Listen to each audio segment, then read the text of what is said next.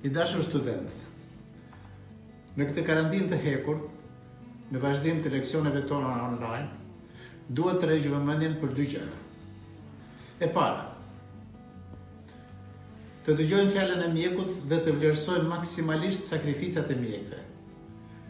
Të zbatojmë masat që janë marrë nga autoritetet në përputhje me vlerësimin e ekspertëve. E dyta, të kuptojmë dhe pastaj të shpjegojmë mbi bazën e forcës së fakteve ose forcës së argumenteve situatën në të cilën po kalojmë.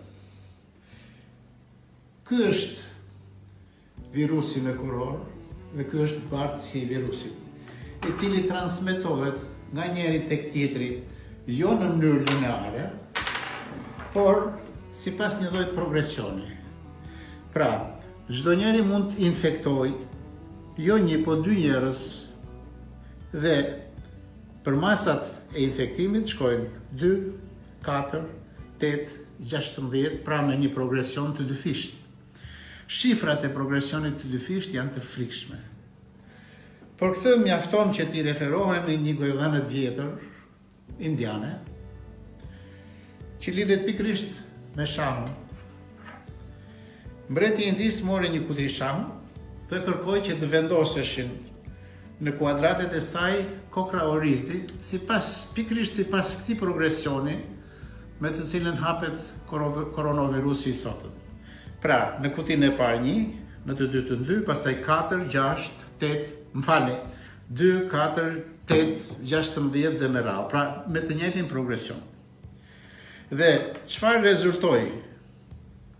Kur arritën në kutinë e gjashtëdhjetë e katërt, gjë që bëhet vetëm me përllogaritje, rezultoi se në kutinë e shahut duhet të kishte potencialisht një numër kokrrash orizi që është pikërisht ky numër, pra një numër, një numër me 20 shifra.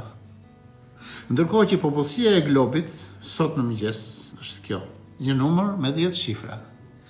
Pra numri i kokrrave të orizit do ishte njëzet miliard herë më i madh se popullsia e globit. Ose nëse i referohemi Indisë, meqenëse kjo ka ndodhur në Indi, sipas gojëdhënave apo sipas historisë, kjo do ishte një sasi e mjaftueshme për të mbuluar të gjithë sipërfaqen e Indisë me oriz me një trashësi dy pëllëmbë. Me këtë kuptojmë se çfarë mundësish potenciale ka koronavirusi për të pushtuar globin. Por, ai ka një pikë të dobët. Nuk ka krahë të fluturojë për fat të mirë.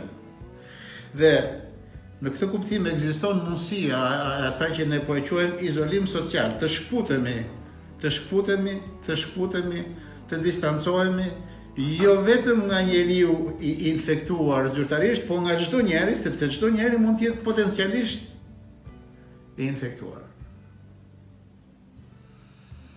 U drejtohem çdo njerit nga 20.000 studentët e Universitetit Aleksandër Moisiu, por edhe të bashkëmoshatarëve të tyre apo edhe të fëmijëve më poshtë. Ju sot keni në dorë parandalimin e katastrofës. Dhe siç kemi mësuar dhe siç kemi thënë shpesh në leksionet tona, parandalimi është gjithmonë më i thjeshtë dhe shumë më pak i kushtueshëm se sa kurimi i problemit. Të qëndrojmë siç jemi, të vazhdojmë leksionet online, që të takohemi shumë shpejt në auditorët e UAMD-së. Faleminderit.